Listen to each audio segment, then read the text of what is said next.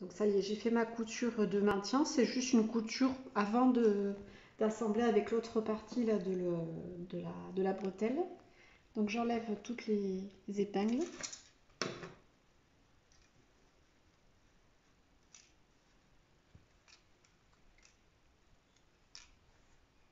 Voilà, donc je vous montre.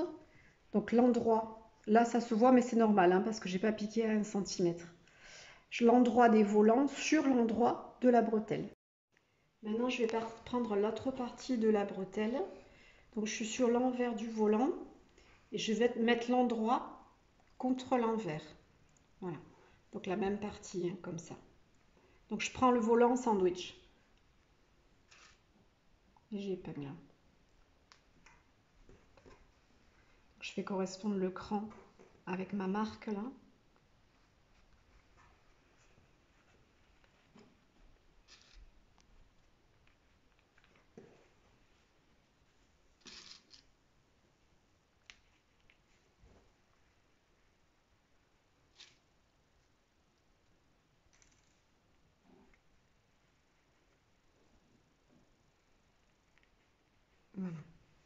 Donc là, c'est bien épinglé. Et maintenant, je vais venir faire une couture à 1 cm du bord sur toute cette partie-là.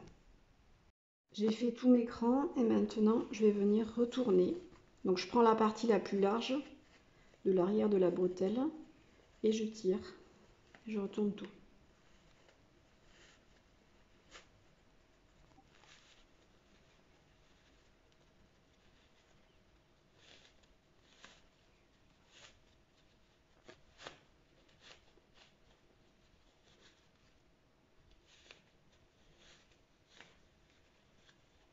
Donc maintenant, je peux enlever toutes mes épingles. Hop.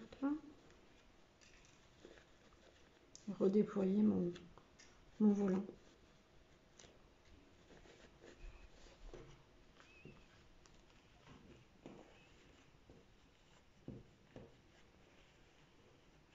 Bon, là, on voit les fils de fronce, mais je les enlèverai après.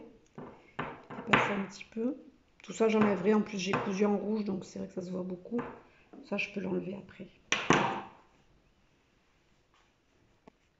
Voilà, maintenant, je vais aller repasser.